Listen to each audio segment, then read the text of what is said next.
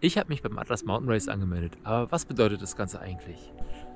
Dass ich entweder verdammt dumm oder verdammt mutig bin. Vielleicht auch ein bisschen was von beiden.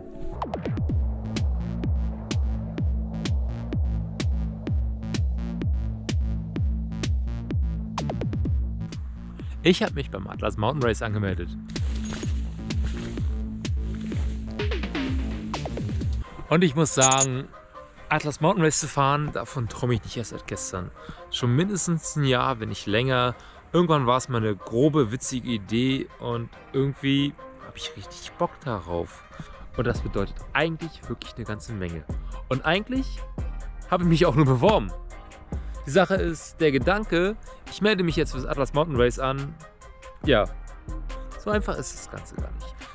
Um beim Atlas Mountain Race mitzumachen, gibt es natürlich noch ein paar Hürden. So gibt es ein Race-Menü mit 39 Seiten, allen Informationen zur Strecke und dazu muss man auch noch Fragen beantworten.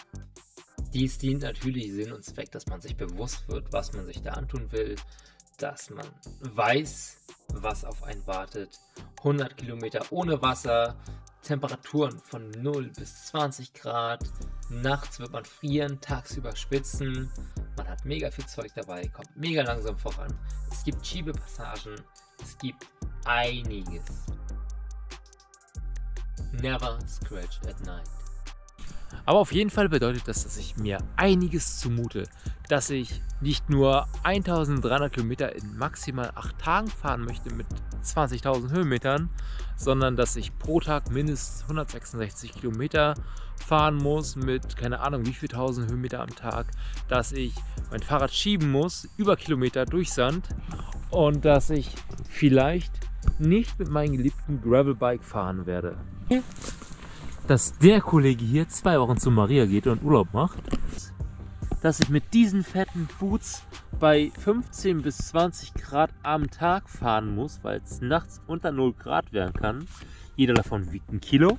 Und für sich lasse ich mir ungern erzählen, was Gravel ist und was nicht, was ich fahren kann und was nicht. Aber ganz ehrlich, I can, I will, end of story. Ich entscheide, was ich fahre. Allerdings bin auch ich belehrbar. Krieg ein Mountainbike in Richtung November, Dezember.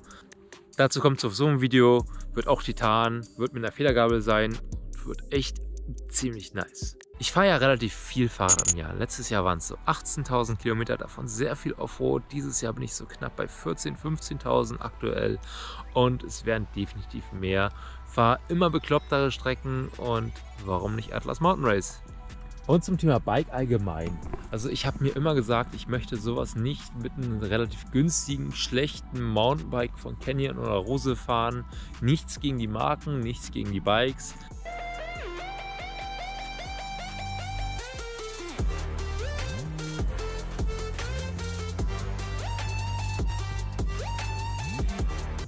Weiterer Grund, warum ich das mit dem Fahrrad nicht fahren könnte. Ich habe zwar eine coole Lampe, eine Lupine, aber meine Lupine ist nach drei Tagen spätestens alle. Und dann sitzt du in der Wüste, in der Dunkelheit und in drei Tagen bin ich nicht im Ziel. Nein, nein. Dann ist das nächste Thema die Übersetzung. Ist ganz cool, um den Brocken hochzufahren. Ist ganz cool, um sonstige Berge hochzufahren. Aber 20.000 Höhenmeter, weiß ich nicht. Bin ich mir nicht sicher. Und vielleicht sollte ich auch anfangen, Indoor zu trainieren. Workouts sehe hier und Höhenmeter, weil die haben wir in Berlin leider nicht. Und was noch so alles auf mich zukommt, seht ihr jetzt.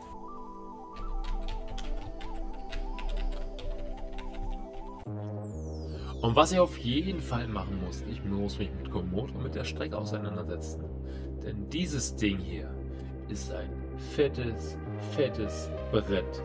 Wir starten in Marrakesch, haben, glaube ich, acht Etappen die es alle in sich haben. 21.000 Höhenmeter.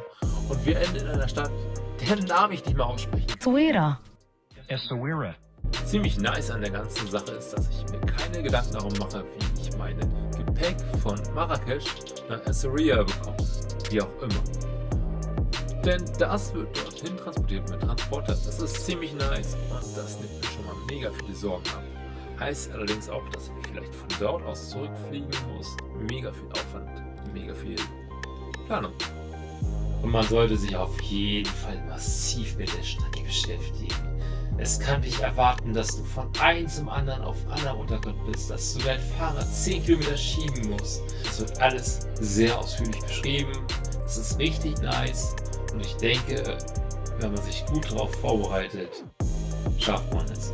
Ob ich persönlich fahre lieber auf Nummer sicher statt auf Risiko, lieber mittelschnell als superschnell, lieber vorsichtig, als dass ich mir was breche. Und ich denke, ich schaffe das auf jeden Fall oder ich kann das schaffen, wenn ich will. Natürlich ist es eine Probe. Es ist 70% Mindset und 60% Körper können, wie auch immer. Es ist eine Herausforderung. Man wird brechen, aber wenn man sein Schicksal akzeptiert, kann man es garantiert schaffen. Genauso muss ich mich damit beschäftigen, wie komme ich überhaupt nach Marrakesch? Ohne x-mal umsteigen. Und was für mich noch eine ziemlich große Gefahr ist, sind Zwischenstopps, weil ich theoretisch richtig viel Angst habe, dass das Fahrrad nicht ankommt. Wenn ich mich für eine Veranstaltung anmelde, läuft das in der Regel so, ich gucke mir das Event an, ich überlege mir kurz, was packe ich zusammen. So viele Dinge, die mir eigentlich durch den Kopf gehen. Ich muss echt sagen, ich muss mir vielleicht einen Schlafsack holen, ich muss mir eine Daunenjacke holen, eine bessere als ich aktuell habe, mit kleinerem Packmaß, einen Biwaksack. Also es sind A, sind es Kosten, dann brauche ich vermutlich noch ein ärztliches Attest. Also es ist mega viel Organisation. Und auch wenn ich aktuell noch keine richtige Zusage habe, muss ich mich trotzdem darauf vorbereiten, muss Sport machen, muss vielleicht versuchen, ein paar Höhenmeter zu fahren. Auch wenn es nur vier Wochen sind bis zur Zusage, Nicht-Zusage, wie auch immer. Aber es wäre verschenkte Zeit. Ich muss mich um einen Reisepass kümmern. Ich habe eigentlich genug Sachen, um bis Februar beschäftigt zu sein. Weil es ist das Mountain Race, es ist am Ende der Welt, es ist arschkalt, es ist Februar. Da sollte man sich, glaube ich, ordentlich darauf vorbereiten. Und genauso wichtig ist Essen. Eins der größten Themen. Hier, coole Riegel, also muss man mögen, mit Kaffeegeschmack, wirklich Koffein pur und schmeckt auch nach Kaffee. Ich finde es ganz nice. Natürlich weiß ich auch gar nicht, ob ich hoch dabei bin. Aber ich muss halt sagen, wenn ich jetzt nicht schon anfange zu trainieren, Workout zu machen, noch mehr zu fahren, ist es irgendwann zu spät. Und die Anmeldung fürs Armeer ist vom 9.10. bis zum 27.10.